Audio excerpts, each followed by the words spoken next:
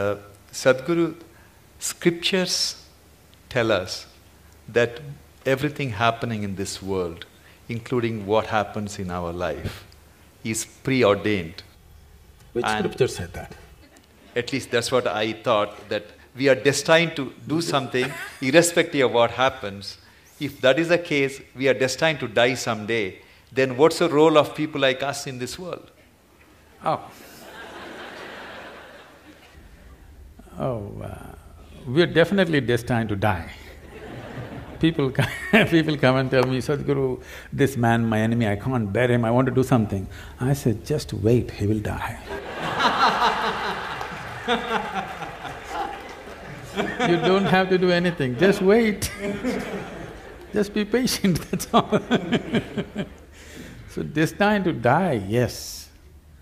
But uh, I don't think ever any scripture has mentioned that your life is predetermined, predetermined or preordained. This is an import from outside. You must understand the fundamental nature of what this culture is, is it's rooted in this. This is a godless culture, you must understand this. There has never been an idea of God in this country. It's an imported value, let me put this into perspective, because it upsets lots of people. we have many divine entities, many. We count some thirty-three million, something like that. How did all these gods come up? So, the idea, the monotheistic idea is there's a god sitting out there and doing things to you, so they believe in dictatorship. That there is somebody who determines everything. Not so in this culture. Here, there is no idea of God, but there are many divine entities. What are these entities?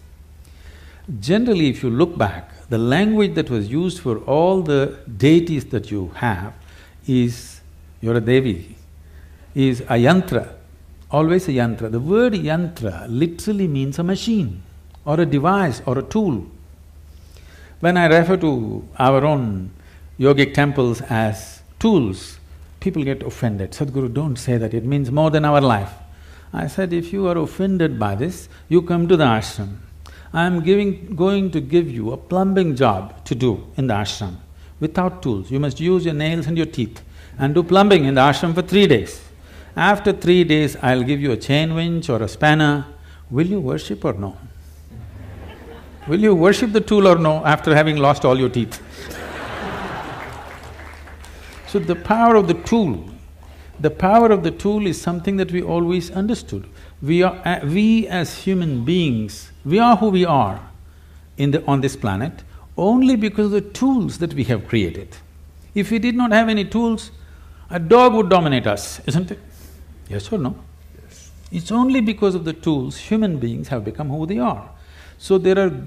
a screwdriver is a tool too, but there are subtler tools, energy tools, subjective tools, which can open up different dimensions of life. So for this, for every dimension we create a different tool, a different possibility, because we clearly know without this tool we would never access this possibility, we bow down to it and we worship it because without being worshipful it will not yield to you. This is… we clearly know gods are our making. It is just that others have forgotten. So here we told you, your life is your karma. This means your life is your making. Where is the question of preordained? Such a thing never arises in this culture. Thank you, Sadhguru. But it's dangerous for a doc- doctor to think it's preordained.